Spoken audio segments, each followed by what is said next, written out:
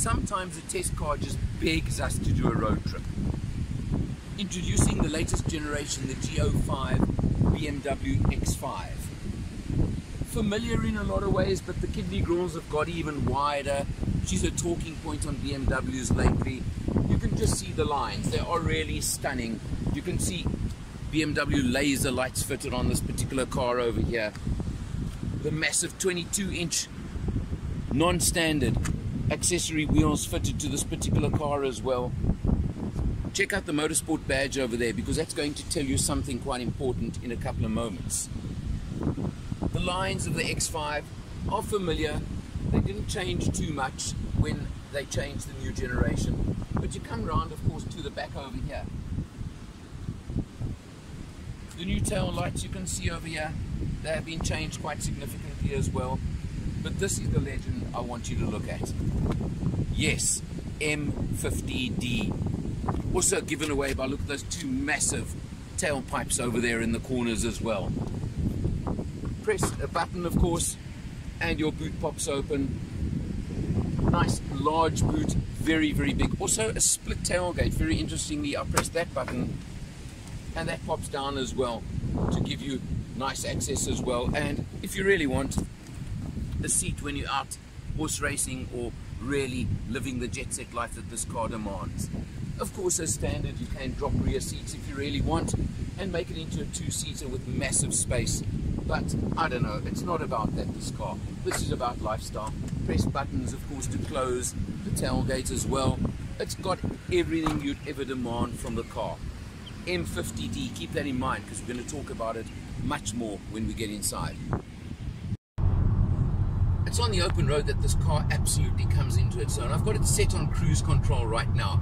And one of the absolutely incredible features which shows in the heads-up display is I've actually got my hands off the steering wheel and there is a level of autonomous driving which in other words it's steering itself even round these corners and the bends that we're on now. I don't know if I'd do it on a mountain pass specifically, but boy oh boy, when you're doing it here, and now I've got my hands off the wheel again, and if you're looking ahead of us now, you'll see that it's just cruising round a bend, a gentle bend over here, holding the speed as I've set it, and it just absolutely is a dream. And if you ever want to do really relax while you're driving, with my hands up in the air, as you can see, and then every so many seconds, about 30 seconds or so, it requires you to put your hands back onto the steering wheel to prove that you are still in control. But this is an amazing feature, part of, of course, the suite of features that are on this vehicle, and it's just yet another one. But just cruising in absolute, total, and utter comfort, and I'm loving every second of driving this car through the rolling hills of the south coast, uh, southern Natal, and you can see beautiful green all around us. This is what makes a trip like this, of course, a treat of a lifetime and just makes it such a pleasure to be driving on a trip like this. You also have lane departure warning, which works with this almost a little bit too vicious in my mind, where when it pulls you back into line, it doesn't just warn you, it literally pulls the car back. A feature, I think, of the car. We're coming up behind another vehicle now.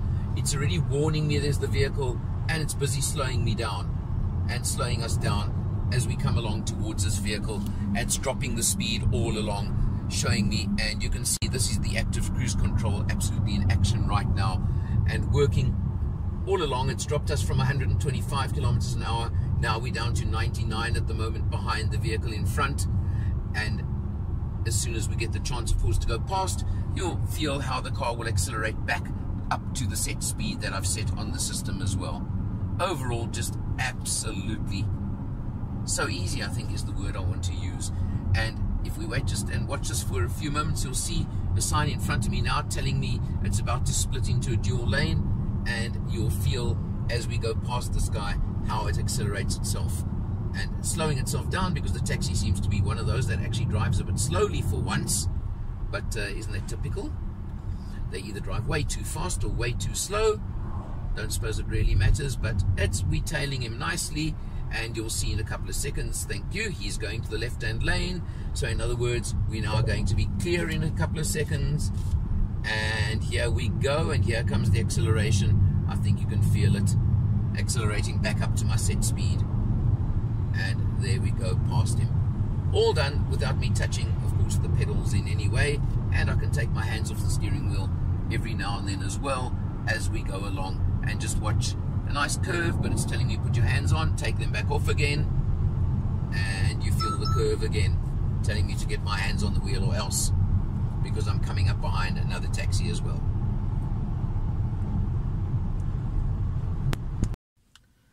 Of course, like all BMWs, there is the consideration of extras of standard spec, etc. If you have a look at this sheet over here, the standard base price is just on 1.5 million rand. 240,000 rands worth of extras. That may sound like a lot, but a lot of them are really amazing extras as well. The adaptive M suspension, 52,000 rand, yes, but it does give you that adaptive suspension, which is really brilliant. You have got a launch package, which uh, includes the incredibly smart looking seats, etc your night vision with object recognition. Let me tell you, I've seen this in operation. You're driving along, there's a pedestrian to the side of the road, a red little man flashes up in front of you. It is absolutely amazing. I don't know how it works. And the screen, actually, if you get a bit close, there's a red flash on the screen. It is amazing. You've got panoramic front roof, uh, sunroof, of course. I mentioned the 22 inch wheels. You've got massage function on the two front seats. We certainly enjoyed that on the trip down. I can tell you that much. You've got a soft close system for the doors.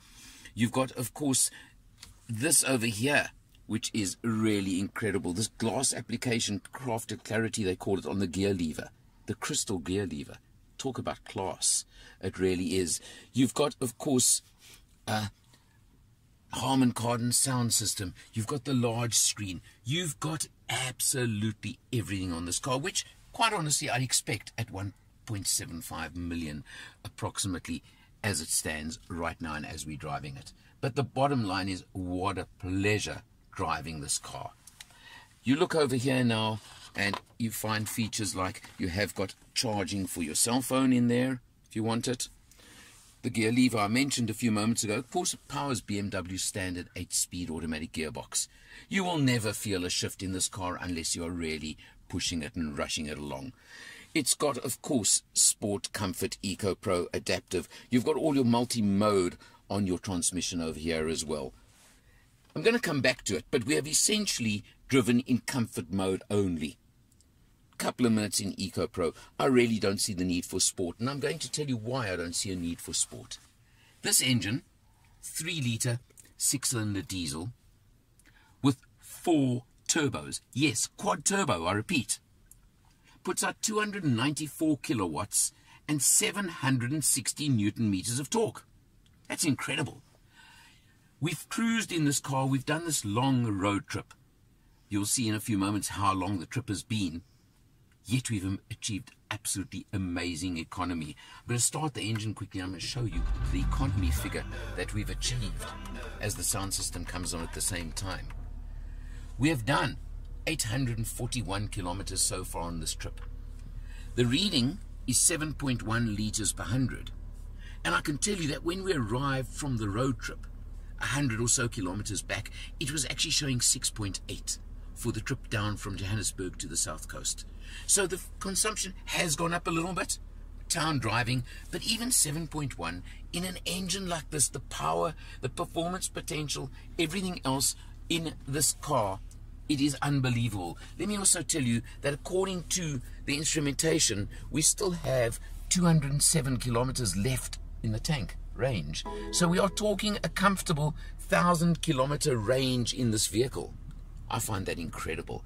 You do have, of course, your cruise control, which is adaptive. And we tested that quite thoroughly on the trip down. Brakes as a car comes in front, reaccelerates when the gap is there, Unlike some cruise control systems, the acceleration back to the set you've speed the speed you've set is actually very gentle and relaxed. It's not one of those absolute surges that some do give you. I enjoy that as well. Of course, you've got the full BMW infotainment system with some push buttons instead of just the standard scroller over here, which I have found a bit easier to use and made that a lot easier. You can see here as I've run through the scrolling system and go to media, for example, and there's the USB that we have in the car at the moment. Nice and easy to use, and you just scroll down. Simple. It's got a lot easier after all the criticism people seem to have on the system over the years. Beyond that, it's got every single luxury. Obviously, electric seat adjustment on both drivers and passenger seat. You've got dual zone climate control. You've got a nice storage area over here. I mentioned the beautiful brownie tan colored leather trim. You've got that dual panoramic roof, tons of space in the back seat with separate controls for aircon in the back seat as well. This car is certainly and very definitely built for the man who has everything and wants everything. There are competitors. There are lots of competitors. You go to the Mercedes, have competitors, Jaguar. You can go up to the Bentley Bentayga, even the Audi Q7. There are lots. I don't think that matters. If you're a BMW man and you want this unusual combination of that quad turbo diesel engine, well, that's something pretty special. Overall, it's been an absolute experience. We're about to drive back up to the big smoke and take the cruise back to see what that's like again. I know it's going to be an easy drive, that's for sure. But overall, it's been a stunning test in an absolutely, I have to say it, stunning vehicle.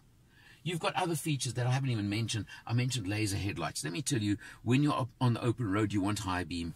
The lighting is incredible as well. It's features like that that make this car different and quite honestly, I believe, make it worth the kind of money you are talking about. For Matters, I'm Eleanor, and I'll see you next time.